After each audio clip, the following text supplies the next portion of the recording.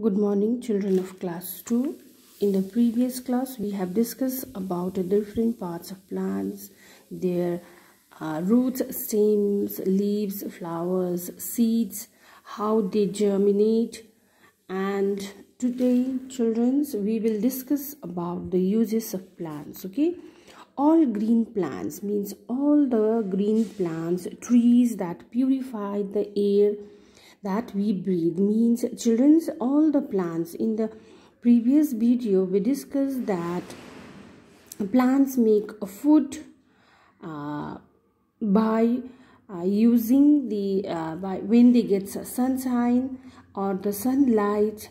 At the presence of sunlight all the plants that will inhale or they will take air as a carbon dioxide and breathe it out oxygen okay?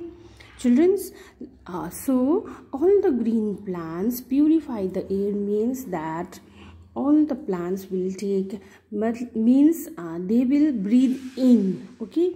Uh, sorry carbon dioxide and breathe out oxygen. It means it will uh, so that the air will purified by the plants okay? And trees are not purified the plant uh, air but as well as they are the homes to many animals and insects okay? There are different plants uh, uh, diff sorry different animals and insects they will live and and they also get set from the trees when there will be a heavy or a sunshine feels very hot temperature at the time okay?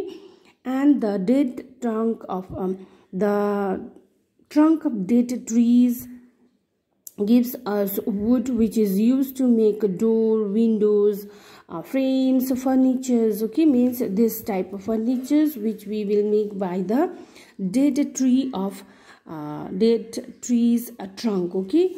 And children's we have to grow many different kinds of plants or trees which are useful for us like fruits trees flowers all of them were purified the air okay. This is known the the children's when we grow, uh, grow trees this is known as the cultivations of tree or crop or agricultures okay?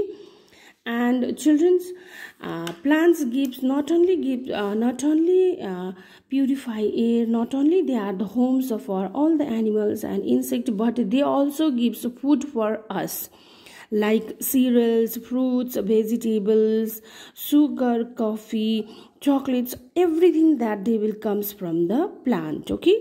And children's uh, perfumes medicines some medicines herbs paper okay?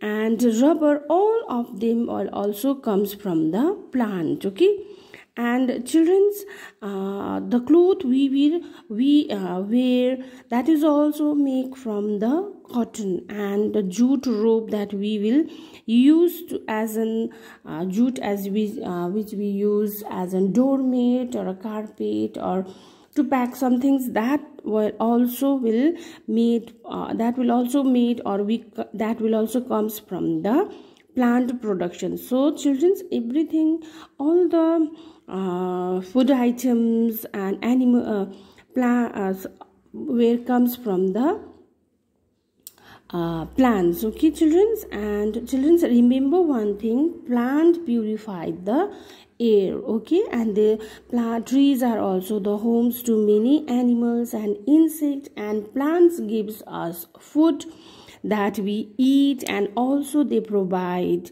perfume medicines rubber cotton cotton clothes.